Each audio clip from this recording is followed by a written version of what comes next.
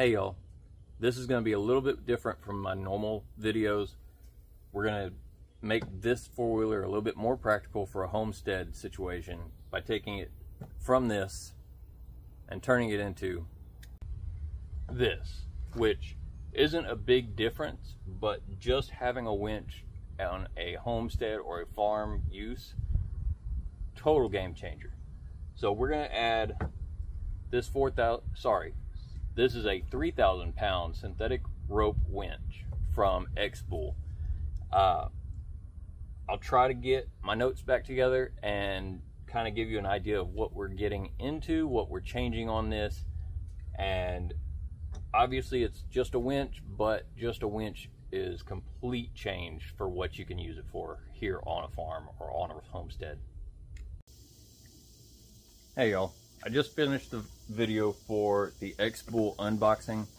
Uh, I'm going to go ahead and I'm going to start putting it together, uh, getting the four-wheeler. It's right off to the side. I'll get it back in frame in a minute.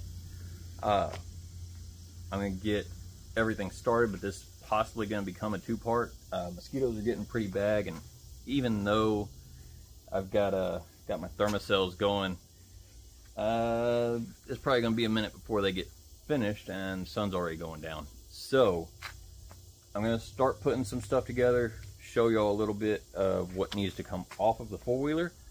And then from that, we'll see if this becomes a, a multi-part uh, videoing, taping, uh, or if I can actually get all this knocked out.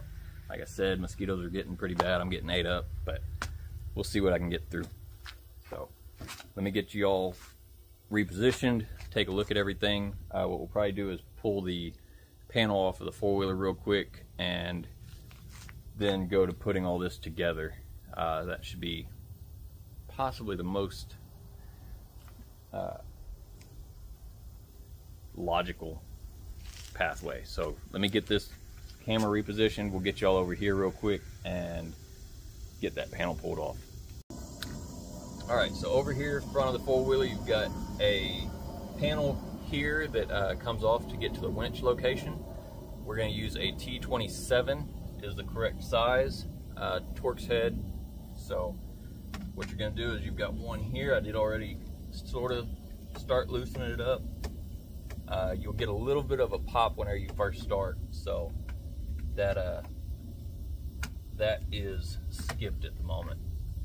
Uh, what I would normally recommend is using my impact, but unfortunately I have a bunch of T25s and no T27s that I could locate. So from the moment, like I said, we'll just pull off this panel. If I can find one to put it back on, that'd be great. But I don't have high hopes. So as I talk my way through this, like I said, there are four. That's going to be one and two, three, right there. And you'll have your fourth one on the opposite over here. Finish putting pulling these off and I'll get y'all back. All right, so sometimes it just takes thinking about it long enough to realize where you had the right tools, or the, at least the tools that you wanted. So, make this a little bit quicker. Found my impact, get done with these. I'm gonna sit them right beside me as close as I can. And then you find out that even then, sometimes you got the wrong equipment. That's okay. Not too bad. I was more afraid that I was going to wallow that out. So when you pull this off, what you're going to end up doing as we go is you can see where there's some little cutouts around this. Maybe you can't. You can kind of see through them. We end up removing those. Uh, I'll probably get out my little, a few different tools, get that figured out, Dremel it, something. But you're gonna come in, we're gonna mount our plate right there. So let me grab that. We'll figure out where that needs to go. We'll also mount that uh, winch in there and we'll go from there. So here's our mount. Uh, like I said, we are probably going to be putting the winch in first and then mounting it. Uh, I just wanted to double check that this does fit in here and that actually looks really good. Um, so what we have, you've got four rivet nuts already in here and you've got four mounting holes. Sorry, mosquitoes are still here, not as bad. Thanks to that Thermacell. Uh, but here we are, we've got four rivet nuts. They're already in from the factory or from this crew, uh, Extreme Max. Uh, and it does have their website, see, extrememax.com, and their phone number. Uh, so, nice and easy, I assume, to get a hold of them if they're going to be that upfront on the product. So, we know that it fits. Back up here, the tailgate, we'll get it mounted in. All right, so obviously cameras here where y'all can actually see it. You don't have to actually see my face. But what we have here is the hardware that came with our mount. We've also got here the hardware that came with the winch. So we're gonna play, let's see what happens and uh, we'll figure out what equipment we need and where. So bear with me for a minute. We're gonna see what's going on and I do have the installation instructions for the X-Bull as well as the Max, the Extreme Max winch mount. Um, so bear with me. I'm going to be reading while I'm doing this and I'll just bring y'all back in as I as I go through.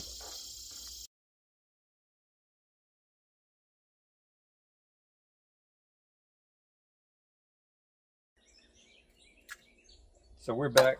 Uh, we ran into an issue last night with my Fairlead. Uh, the Fairlead that comes with the X-Bull is a 4 and 3 eighths. And what I actually ended up needing was the 4 and 7 eighths. So I ran down to just Harbor Freight, grabbed me a Badlands uh, Fairlead. Shouldn't be anything really big deal with that. So we're to run that. Um, I am going to see if I can continue to use the mount came with uh, with a set of carriage bolts. So I'm to see if I can run this nut with that. Um, the reason I say that is I did order one off Amazon and unfortunately it said that I had to use uh, hard a different set of hardware. Uh, said that I had to use a like this Badlands comes with uh, the hex head, uh, the Allen wrench. But uh, I'm gonna swap that out for what came with the with the mount. We're gonna try that. Uh, unfortunately, I didn't catch that when I was doing all the all the looking into everything. But basically, this is the mount that came with X-Bull. Obviously, it matches. But whenever you went to this one, you're just a little bit off. Uh, obviously, we can kind of tell that looking at it now. But last night I could not, and then realized, oh, we gotta shut this down. Anyway, I'm going to just set everything up. I'm going to put the winch into the mount, and then we'll get back over to the four wheeler and mount it up.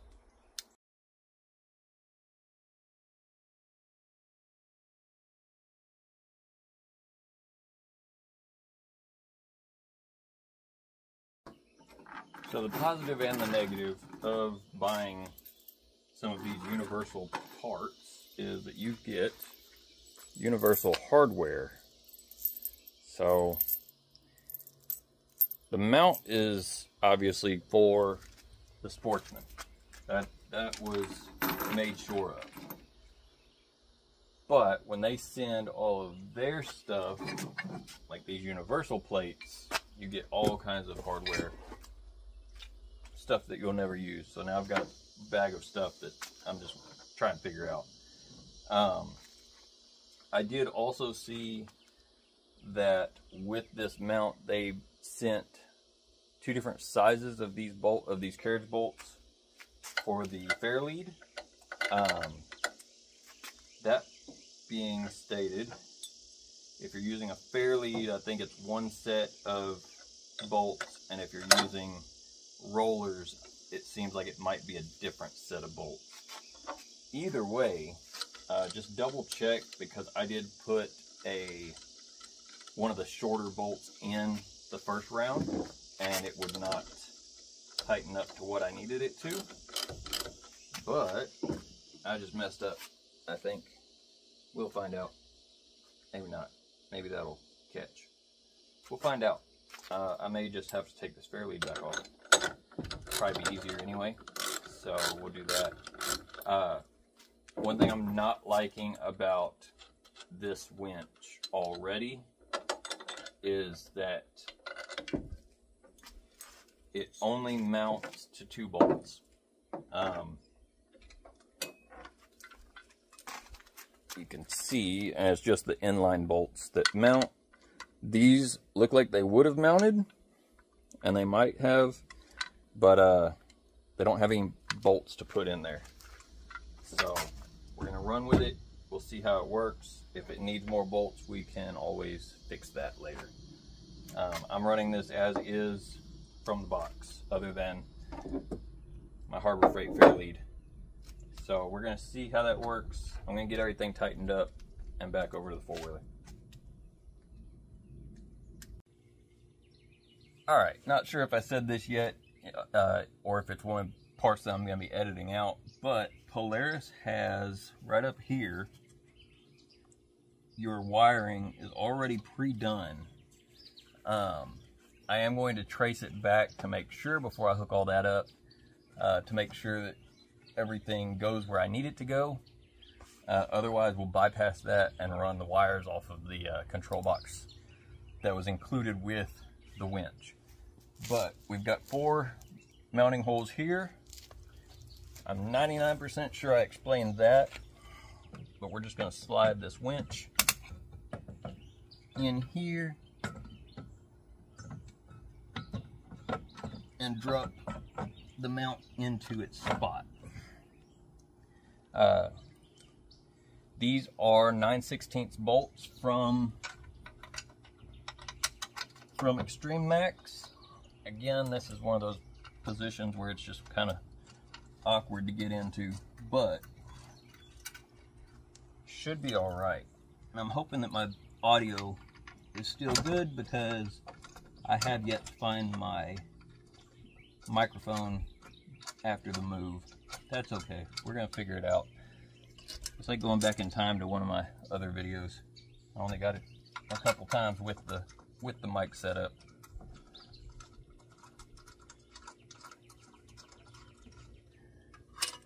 I'm just starting these by hand. And then I've got an assortment over here of whether I want to use a hand wrench or socket, depending on what will fit in here. Uh, but it does look like I need an extension real quick.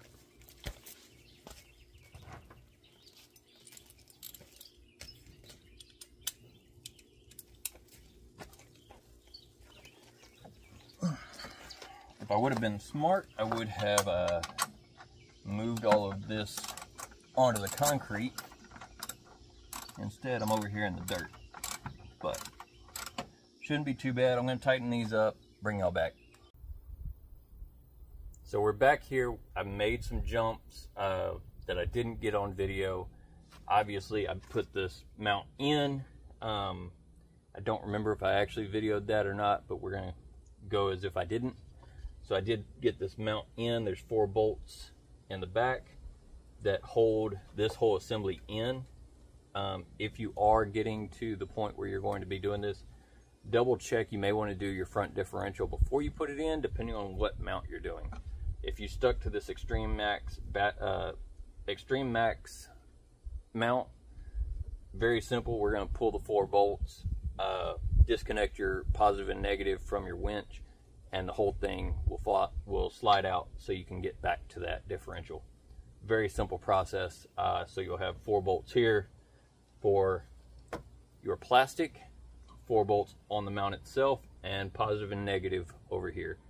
Uh, and that should be able to slide everything out. What I did, which you can't really see from the angle, I just zip tied my control module that came with the X-Bull right here into the frame, onto the frame, um, and ran my power instead of using the Polaris power because I couldn't figure out, this is on me, couldn't figure out where the negative was, where the positive was. Uh, I did find a positive wire lead back there that was labeled with the winch, but I couldn't find the negative, and maybe I had it wired correctly, maybe not. Anyway, uh, it didn't turn on for me. That's fine.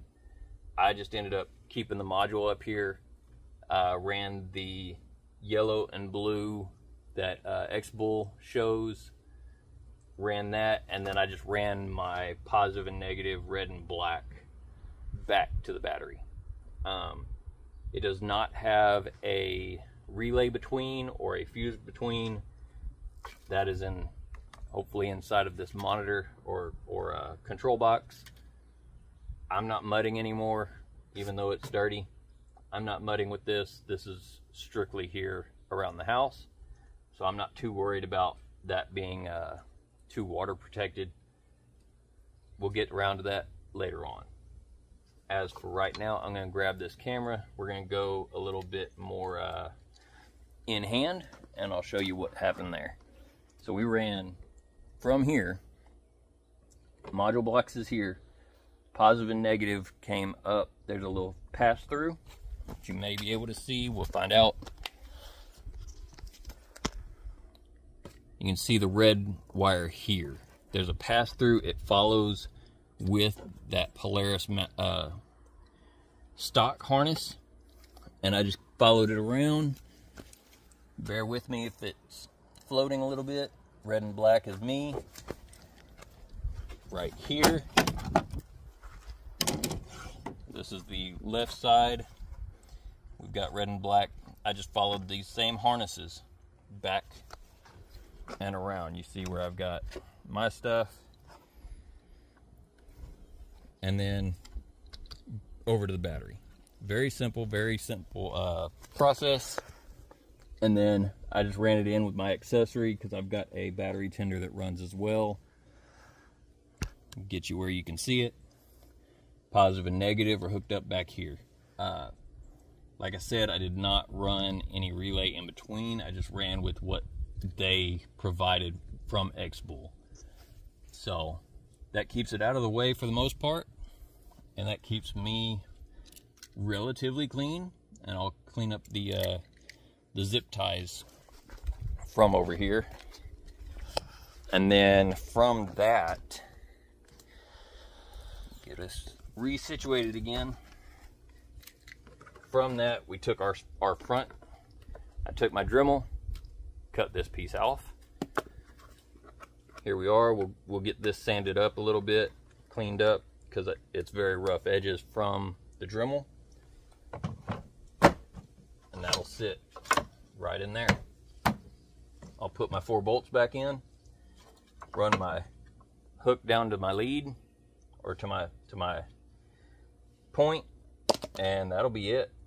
That makes our uh, our X-Bull install on a Polaris 800 EFI. This is a 2013 version. Uh, I did notice in purchasing some other equipment that it does not match up with the touring version or anything. I'm not positive down here. Down here, I know that it matches the 500 HO, I believe it is. Uh, so you'll just have to check what uh, what mounting option you got that'll be it. We'll uh, do a few more small ideas. Uh, one thing I did not do yet is the handlebar mount. So the handlebar uh, remote will still have to be wired in.